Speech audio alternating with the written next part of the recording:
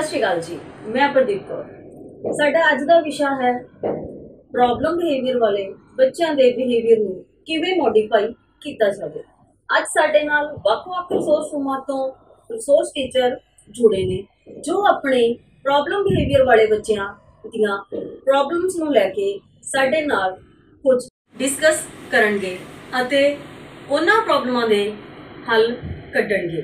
ਜਿਵੇਂ ਮੇਰੇ ਨਾਲ ਨੇ ਮੈਡਮ ਹਰਪ੍ਰੀਤ ਕੌਰ ਜੀ ਢਿੱਲੋਂ ਤੋਂ ਮੈਡਮ ਕਮਲਜੀਤ ਕੌਰ ਜੀ ਜਗਰਾਉਂ ਤੋਂ ਸਤਿ ਸ਼੍ਰੀ ਅਕਾਲ ਜੀ। ਮੈਡਮ ਨਿਸ਼ਾ ਸਕਸੈਨਾ ਜੀ ਲੁਧਿਆਣਾ ਦੋ ਤੋਂ। ਸਤਿ ਸ਼੍ਰੀ ਅਕਾਲ ਜੀ। ਮੈਡਮ ਗੁਰਮੀਤ ਜੀ। ਬੱਚਾ ਹਰਪ੍ਰੀਤ ਉਹਦਾ ਨਾਮ ਹੈ ਐਮਆਰ ਕੈਟਾਗਰੀ ਦਾ ਉਹਨੂੰ ਇੱਕ ਬਿਹੇਵੀਅਰ ਪ੍ਰੋਬਲਮ ਹੈ ਕਿ ਉਹ ਆਪਣੇ ਮੂੰਹ 'ਚ ਗੁੱਠਾ ਪਾ ਕੇ ਚੁੰਗਦਾ ਰਹਿੰਦਾ ਹੈ। ਉਮਰ ਕਿੰਨੀ ਹੈ ਜੀ ਉਹਦੀ? 14 ਸਾਲ ਦੀ ਹੈ। 14 ਸਾਲ ਹੈ ਸਭ ਤੋਂ ਪਹਿਲਾਂ ਤਾਂ ਆਪਾਂ ਬੱਚਿਆਂ ਨੂੰ ਇੱਕ ਮੋਟੀਵੇਟ ਕਰਾਂਗੇ ਕਿ ਦੇਖੋ ਦੂਸਰੇ ਬੱਚੇ ਨੂੰ ਦਿਖਾ ਕੇ ਮੋਟੀਵੇਟ ਕਰਨਾ ਆ। ਵੀ ਦੇਖ, ਉਹ ਬੱਚਾ ਬਿਨਾ ਮੂੰਹ ਚ ਅੰਗੂਠਾ ਪਾਏ ਕਿੰਨਾ ਸੋਹਣਾ ਲੱਗ ਰਿਹਾ ਹੈ। ਦੂਸਰਾ, ਨਾਲ ਦੀ ਨਾਲ ਅਸੀਂ ਉਹਨੂੰ ਇਹ ਦੱਸਾਂਗੇ ਵੀ ਅੰਗੂਠਾ ਜਦੋਂ ਬੱਚਾ ਚੁੰਗਦਾ ਆ ਤੇ ਉਹਦੇ ਅੰਗੂਠੇ ਦੀ ਜਿਹੜੀ ਸ਼ੇਪ ਆ, ਉਹ ਚੇਂਜ ਹੋਣੀ ਸ਼ੁਰੂ ਹੋ ਜਾਂਦੀ ਆ। ਉਹ ਸੁੱਕਣੀ ਸ਼ੁਰੂ ਹੋ ਜਾਂਦੀ ਆ, ਠੀਕ ਹੈ? ਤੇ ਦੇਖ, ਤੇਰੇ ਹੱਥ ਜਿਹੜੇ ਆ, ਕਿੰਨੇ ਗੰਦੇ ਲੱਗਣਗੇ ਅਗਰ ਤੁਸੀਂ ਬੇਟਾ ਅੰਗੂ- ਅੰਗੂਠਾ ਜਿਹੜਾ ਆ, ਉਹ ਮੂੰਹ ਵਿੱਚ ਪਾਉਂਗੇ। ਇਸ ਤੋਂ ਬਾਅਦ ਅਗਰ ਬੱਚਾ ਫਿਰ ਵੀ ਨਹੀਂ ਮਤਲਬ ਹਟ ਰਿਹਾ ਜਾਂ ਇਹ ਕਹਿ ਲਓ ਵੀ ਬੱਚੇ ਦੀ ਆਦਤ ਛੁੱਟ ਨਹੀਂ ਰਹੀ ਉਸ ਤੋਂ ਬਾਅਦ ਅਸੀਂ ਬੱਚੇ ਨੂੰ ਇੱਕ ਰਿਵਾਰਡ ਜਾਂ ਆਪਾਂ ਕਹਿ ਲੈਂਦੇ ਆ ਕੰਡੀਸ਼ਨਿੰਗ ਕਰਾਂਗੇ ਬੱਚੇ ਦੀ ਜਿਸ ਤਰ੍ਹਾਂ ਹੀ ਬੱਚੇ ਨੇ ਅੰਗੂਠਾ ਮੂੰਹ ਦੇ ਵਿੱਚ ਪਾਇਆ ਉਹਨੂੰ ਹੱਥ ਦੇ ਨਾਲ ਥੱਲੇ ਕਰਾਂਗੇ ਅੰਗੂਠਾ ਮਤਲਬ ਹੱਥ ਉਹਦਾ ਆ ਮੂੰਹ ਦੇ ਵਿੱਚੋਂ ਬਾਹਰ ਕੱਢ ਦਵਾਂਗੇ ਤਾਂ ਉਹਨੂੰ ਕਵਾਂਗੇ ਬੇਟਾ ਨੋ ਨਹੀਂ ਠੀਕ ਹੈ? ਇੱਕ ਵਰਡ ਯੂਜ਼ ਕਰਨਾ ਆ ਜਿਹੜਾ ਬੱਚੇ ਨੂੰ ਸਮਝ ਲੱਗ ਜਾਵੇ। ਅਗਰ ਫਿਰ ਵੀ ਬੱਚਾ ਨਹੀਂ ਹਟਦਾ ਜਦੋਂ ਅਗਰ ਬੱਚਾ ਫਿਰ ਵੀ ਨਹੀਂ ਹਟਦਾ ਤਾਂ ਤੁਸੀਂ ਰਿਵਾਰਡ ਵਾਲੀ ਕੰਡੀਸ਼ਨ ਅਪਲਾਈ ਕਰ ਸਕਦੇ ਹੋ। ਪਹਿਲਾਂ ਸਾਨੂੰ ਪਤਾ ਕਰਨਾ ਪਏਗਾ ਬੱਚੇ ਦੀਆਂ ਲਾਈਕ ਤੇ ਡਿਸਲਾਈਕ ਕੀ ਨੇ। ਜੋ ਬੱਚੇ ਨੂੰ ਬਹੁਤ ਜ਼ਿਆਦਾ ਚੀਜ਼ ਪਸੰਦ ਆ ਤੁਸੀਂ ਉਹਦੀ ਜਿਹੜੀ ਚੀਜ਼ ਪਸੰਦ ਆ ਉਹਨੂੰ ਤੁਸੀਂ ਉਹਦੀ ਕਮੀ ਜਿਹੜੀ ਹੈ ਉਹਦੀ ਉਸ ਚੀਜ਼ ਨੂੰ ਉਹਦੀ ਕਮਜ਼ੋਰੀ ਨੂੰ ਤੁਸੀਂ ਫੜ ਸਕਦੇ ਹੋ। ਉਸ ਕਮਜ਼ੋਰੀ ਨੂੰ ਲੈ ਕੇ ਤੁਸੀਂ ਕੀ ਕਰਨਾ ਹੈ? ਅਹ, ਬੱਚੇ ਨੂੰ ਜੋ ਅਹ ਜਦੋਂ ਹੀ ਬੱਚੇ ਨੇ ਮੂੰਹ ਦੇ ਵਿੱਚ ਅੰਗੂਠਾ ਪਾਇਆ ਤੁਸੀਂ ਉਹਦੀ ਉਹ ਚਾਹੇ ਉਹ ਟੁਆਏ ਹੈ ਚਾਹੇ ਉਹ ਕੋਈ ਖਾਣ ਵਾਲੀ ਚੀਜ਼ ਹੈ ਕੁਝ ਵੀ ਹੈ ਤੁਸੀਂ ਉਹਦਾ ਕੀ ਕਰਨਾ ਹੈ? ਉਸ ਬੱਚੇ ਨੂੰ ਦਿਖਾਣਾ ਹੈ ਵੀ ਤੂੰ ਅੰਗੂਠਾ ਮੂੰਹ ਦੇ ਵਿੱਚ ਪਾਇਆ ਸੀ ਇਸ ਕਰਕੇ ਤੇਰੀ ਜਿਹੜੀ ਪਸੰਦੀ ਚੀਜ਼ ਆ ਅਸੀਂ ਤੇਰੇ ਕੋਲੋਂ ਵਾਪਸ ਲੈ ਰਹੇ ਹਾਂ। ਠੀਕ ਹੈ? ਅਗਰ ਬੱਚਾ ਅਹ, ਇਸ ਤਰ੍ਹਾਂ ਥੋੜਾ ਥੋੜਾ ਕਰਕੇ ਉਹ ਘਟਨਾ ਸ਼ੁਰੂ ਹੋ ਜਾਏਗਾ।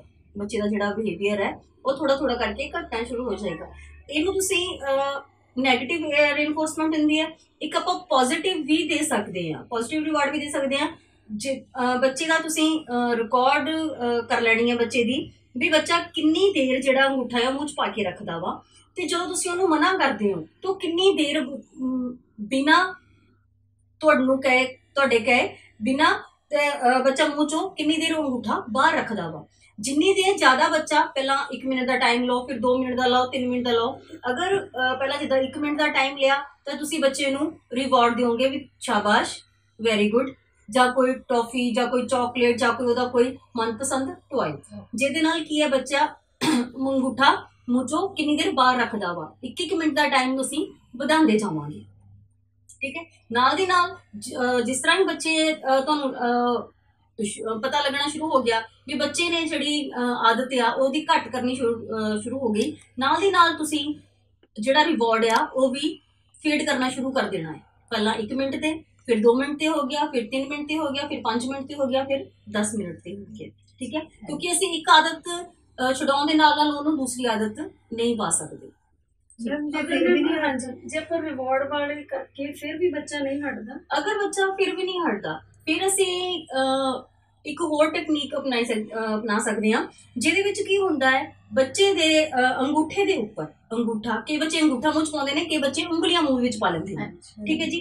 ਅੰਗੂਠੇ ਦੇ ਉੱਪਰ ਅਸੀਂ ਸੈਲੋ ਟੇਪ ਦੇ ਨਾਲ ਰੈਪ ਕਰ ਸਕਦੇ ਹਾਂ ਕਿਉਂਕਿ ਜਦੋਂ ਸੈਲੋ ਟੇਪ ਨਾਲ ਰੈਪ ਕਰ ਸਕਦੇ ਹਾਂ ਬੈਂਡੇਡ ਲਗਾ ਸਕਦੇ ਹਾਂ ਹਲਕਾ ਜਿਹਾ ਹਲਦੀ ਦਾ ਪੈਕ ਬਣਾ ਕੇ ਲਗਾ ਸਕਦੇ ਹਾਂ ਐਲੋਵੀਰਾ ਜੈਲ ਲਗਾ ਸਕਦੇ ਹਾਂ ਠੀਕ ਹੈ?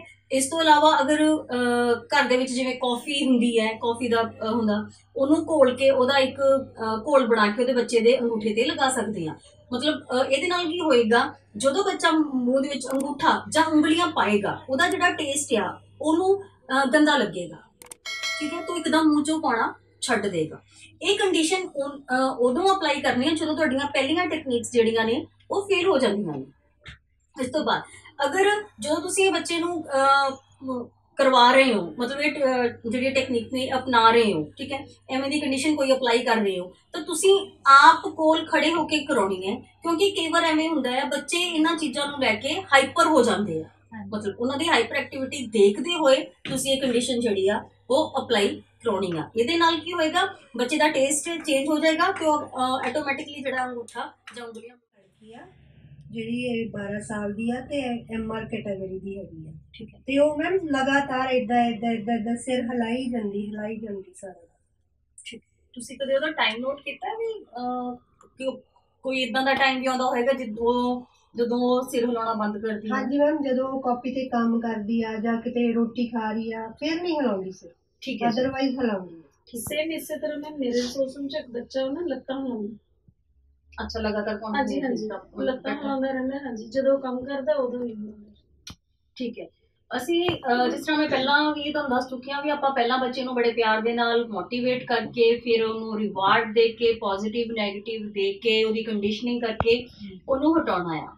ਅਗਰ ਬੱਚਾ ਫਿਰ ਵੀ ਨਹੀਂ ਹਟਦਾ ਤੇ ਕੁ- ਅਹ, ਕੁਝ ਕੰਡੀਸ਼ਨਸ ਨੇ ਕੁਝ ਅਹ, ਹੈਗੀਆਂ ਨੇ ਫਿਜ਼ੀਕਲੀ ਪ੍ਰੋਬਲਮਸ ਦੇ ਕੇ ਅਸੀਂ ਉਹਦੇ ਨਾਲ ਕੀ ਕਰਨਾ ਹੈ, ਜਿਸ ਤਰ੍ਹਾਂ ਮੈਂ ਤੁਹਾਨੂੰ ਕਰਕੇ ਦਿਖਾਉਣੀ ਆ ਬੱਚਾ ਸਿਰ ਹਿਲਾ ਰਿਹਾ ਵਾ। ਠੀਕ ਹੈ? ਅਸੀਂ ਉਹਦੇ ਬੈਕ ਸਾਈਡ ਤੇ ਜਾਣਾ ਆ। ਠੀਕ ਹੈ। ਬੱਚੇ ਦੇ ਬੈਕ ਸਾਈਡ ਤੇ ਜਾ ਕੇ ਬੱਚੇ ਦਾ ਜਦੋਂ ਸਿਰ ਹਿਲਾ ਰਿਹਾ ਹੈ ਉਹਨੂੰ ਸਿਰ ਨੂੰ ਫੜ ਲੈਣਾ। ਠੀਕ ਹੈ। ਹਲਕਾ ਜਿਹਾ। ਠੀਕ ਹੈ। ਇੰਨਾ ਤੁਸੀਂ ਦੇਖਣਾ ਆ ਵੀ ਤੁਹਾਡਾ ਆਪਣਾ ਜਿਹੜੀ ਬਾਡੀ ਆ ਬੱਚੇ ਦੇ ਨਾਲ ਸੰਪਰਕ ਨਾ ਕਰੇ। ਠੀਕ ਹੈ। ਸਪਰਸ਼ ਵਿੱਚ ਨਾ ਜਾਵੇ।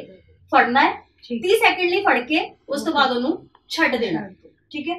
ਤੇ ਨਾਲ ਤੁਸੀਂ ਬੋਲੋਗੇ ਬੱਚੇ ਨੂੰ ਨੋ ਠੀਕ ਹੈ?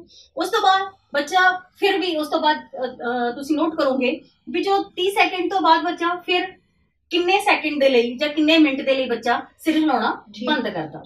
ਅਗਰ ਇਸ ਤੋਂ ਬਾਅਦ ਵੀ 30 ਸੈਕਿੰਡ ਤੋਂ ਬਾਅਦ ਤੁਸੀਂ ਟਾਈਮ ਨੋਟ ਕਰਦੇ ਜਾਇਓ ਉਹ ਉਹਦੀ ਜਿਹੜੀ ਪ੍ਰੋਬਲਮ ਹੈ ਉਹ ਘੱਟ ਹੁੰਦੀ ਜਾਏਗੀ। ਉਸ ਤੋਂ ਬਾਅਦ ਅਗਰ ਅਗਰ ਫਿਰ ਵੀ ਨਹੀਂ ਹਟ ਰਿਹਾ ਤਾਂ ਤੁਸੀਂ ਉਹਦਾ ਕੀ ਕਰਨਾ ਹੈ?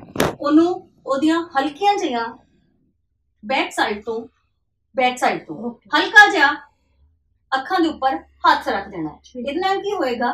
ਬੱਚੇ ਦਾ ਸਾਹਮਣੇ ਜਿਹਦੇ ਨਾਲੋਂ ਆਈ ਕੰਟੈਕਟ ਹੋ ਰਿਹਾ ਵਾ ਉਹ ਖਤਮ ਹੋ ਜਾਏਗਾ। ਠੀਕ ਹੈ?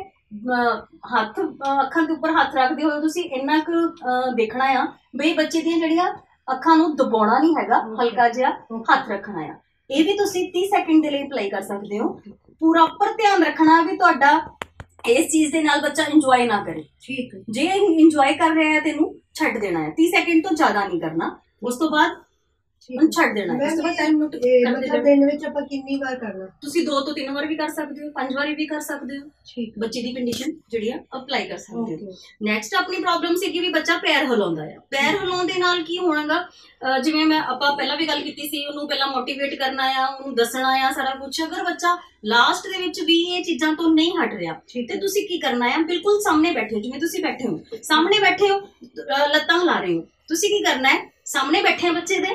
ਬੱਚੇ ਦੇ ਪੈਰ ਦੇ ਦੋਨਾਂ ਲੈਗਸ ਦੇ ਉੱਪਰ ਠੀਕ ਹੈ ਹੱਥ ਰੱਖ ਕੇ ਉਹਨੂੰ ਹਲਕਾ ਜਿਹਾ ਦਬਾ ਦੇਣਾ। ਠੀਕ। ਹੈ? ਕੁਝ ਸੈਕਿੰਡਸ ਦੇ ਲਈ ਦਬਾਉਣਾ ਹੈ। ਉਸ ਤੋਂ ਬਾਅਦ 30 ਸੈਕਿੰਡ ਲਈ ਦਬਾਓ। ਛੱਡ ਦਿਓ। ਫਿਰ ਉਹਦਾ ਟਾਈਮ ਨੋਟ ਕਰੋ ਵੀ ਬੱਚਾ ਕਿੰਨੀ ਦੇਰ ਬਿਨਾ ਪੈਰ ਹਿਲਾਏ ਰੁਕ ਸਕਦਾ। ਠੀਕ ਹੈ। ਅਗਰ ਫਿਰ ਵੀ ਨਹੀਂ ਹਟ ਰਿਹਾ ਫਿਰ ਤੁਸੀਂ ਕੀ ਕਰਨਾ ਹੈ? ਬੱਚੇ ਨੂੰ ਬਿਲਕੁਲ ਸਾਹਮਣੇ ਬਿਠਾ ਕੇ। ਉਹਦੀਆਂ ਲੱਤਾਂ ਆਪਣੀਆਂ ਦੋਨੋਂ ਲੱਤਾਂ ਦੇ ਵਿਚਕਾਰ ਲੈ ਕੇ ਉਸ ਨੂੰ ਹਲਕਾ ਜਿਹਾ ਦਬਾਅ ਪਾਉਣਾ ਹੈ ਲੱਤਾਂ ਦੇ ਵਿੱਚ ਠੀਕ ਹੈ? ਤੇ ਬੱਚੇ ਦਾ ਧਿਆਨ ਜਿਹੜਾ ਆ ਉਹ ਡਿਵਰਟ ਕਰਨ ਦੇ ਲਈ ਬੱਚੇ ਨੂੰ ਕੋਈ ਇਦਾਂ ਦੀ ਐਕਟੀਵਿਟੀ ਦੇ ਵਿੱਚ ਲੈ ਜਾਣਾ ਆ ਜਿਹਦੇ ਨਾਲ ਬੱਚਾ ਰੁੱਝਿਆ ਰਵੇ ਉਹ ਬਿਜ਼ੀ ਹੋ ਜਾਵੇ। ਤਾਂ ਕਿ ਜਿਹੜਾ ਉਹਦਾ ਧਿਆਨ ਆ ਉਹਦਾ ਆਪਣੀਆਂ ਲੱਤਾਂ ਵੱਲ ਨਾ ਹੋਵੇ। ਠੀਕ। ਹੈ?